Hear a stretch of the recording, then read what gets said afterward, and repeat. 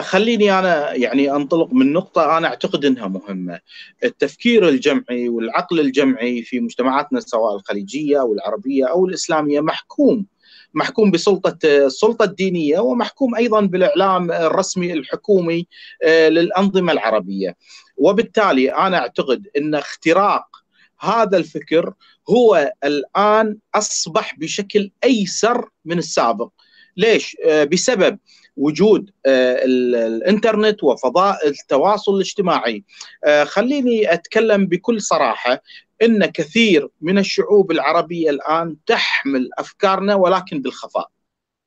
تخشى وتخاف من أن تجاهر بأفكارها. الحقيقية العقلانية تضاربها مع الدين تضاربها مع العادات والتقاليد هذا أصبح أمر مسلم. ولكن الإعلان أو المجاهرة بهذه الأفكار هي هي المستوى أو ال level الذين يخشون أن يتجاوزوا.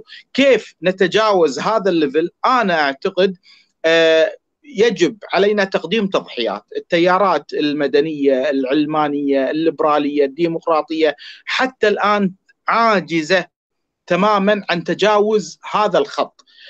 حتى الآن تخشى من ملاحقات السلطة تخشى من قمع السلطة الدينية وتخشى أيضا من التفكير الجمعي للمجتمع، المجتمع ما زال ما زال يعلن بأن الدين هو أساس الحكم، ما زال يعلن بأن العادات والتقاليد هي الأساس في أي تحركاتنا. كيف نستطيع أن نتجاوز هذا الفكر؟ أنا أعتقد هو قيام النخبة المثقفة بدورها الحقيقي النخبة المثقفة يعني للأسف حتى الآن وأنا ذكرت كثير يعني في مقالاتي وأيضا في في مواقع التواصل الاجتماعي النخب المثقفة سواء في منطقتنا أو في المنطقة العربية حتى الآن لم تتجاوز هذه الخطوط الحمراء. هي عاجزة عن التواصل مع بقية الشعب. يمكن لأسباب إنها مستفيدة من السلطة. كثير من المثقفين يعني يجب أن نعترف كثير من كثير من المثقفين الآن تبع السلطة يقتاتون من السلطة. يعني كثير من تصرف لهم السلطة أموال كثيرة. وكثير من المثقفين أيضا يحاولون يتجاوزون الخطوط الحمراء. للدين والتقاليد والعادات خوفا من إنهم يفقدون مكاسبهم الاجتماعية وجودهم الوجاهة الاجتماعية وجودهم في المجتمع علاقاتهم مع سواء في العمل أو في الأسرة أو في في المحيط الاجتماعي يخشون هذا الشيء. ولكن دائما يعني أنا أعتقد هناك نخب حقيقية يعني تؤمن وتدفع يعني الضريبة تدفع الضريبة ضريبة الدفاع عن الحقوق وعن الحريات وعن العلمانية. هي يعني هي ضريبة يا, يا تكون بالسجن يا تكون بالنفي والتهجير وطلب اللجوء يا تكون بالقتل. للأسف يعني الغالبية تخاف من يعني من نهاية هذا التنوير العربي خصوصا وإن يعني مسارات هذا يعني هذه النهاية واضحة. الأنظمة العربية لا زالت قوية التيارات الدينية والسلطة الدينية لا زالت قوية ولكن أنا أعتقد هناك بعض الأشخاص لا يزالون يحملون هذا الهج يعني هذا الهاجس إنه فعلا يؤمن بأن الشعوب يوما ما ستقود وستملك يعني خيارها الحقيقي في صنع التغيير كما فعلت شعوب أوروبا. شعوب أوروبا لم ت... يعني الثورات الثورة الفرنسية لم تقم فقط على الشعوب. النخب المثقفة قامت بدورها الحقيقي في قيادة الشعوب في الخروج إلى الشوارع في قيادة العمل الثوري والحراكي. والمدني حتى توصلوا إلى الدولة المدنية خصوصا في الثورة الفرنسية، الثورة الفرنسية هي ملهمة لكل الثورات. هي من قادت لم طيب ألا تعتقد معي إن حتى النخب المثقفة لدينا يعني هي بقايا السبعينات والستينات والقوميين والاشتراكيين يعني حتى أنا أشوف هنالك نقص أيضا في النخب المثقفة.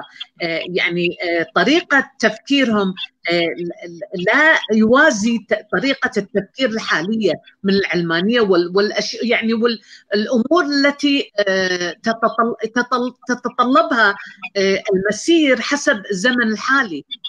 وهم أحيانا تلقاهم يعني ملكيين أكثر من ملك لما لما تصير المسألة تخص الدين ولا إيش رايك؟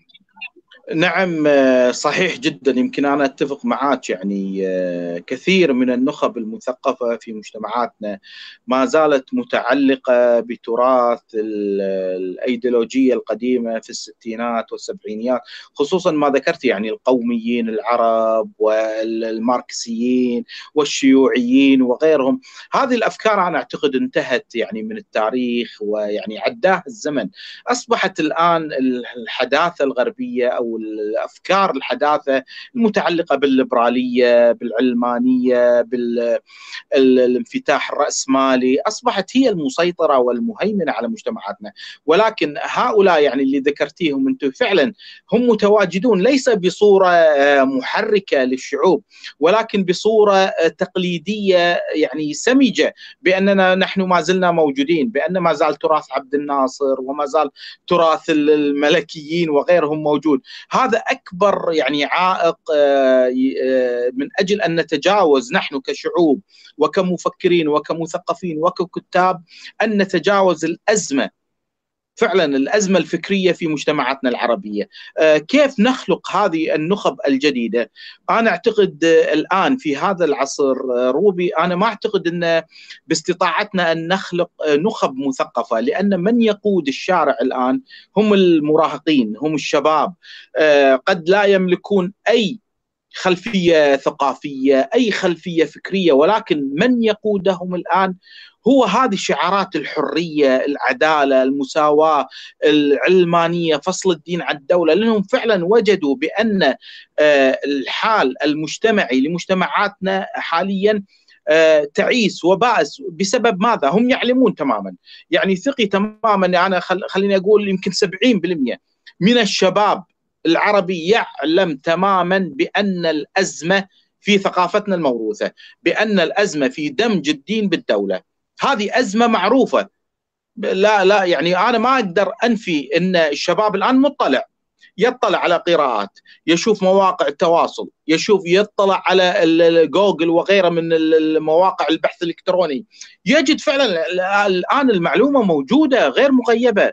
لا يمكن أن تغيب المعلومة الآن. هم يعلمون تماما ولكن هم بانتظار آه، يعني أنا ما أبي أقول انتظار جودو الذي لم يأتي ولكن هم بانتظار المخلص الذي يستطيع فعلا أن ينقذهم. نحن نحاول ولكن آه، يعني مثل ما يقال إن الأنظمة مستبدة قمعية.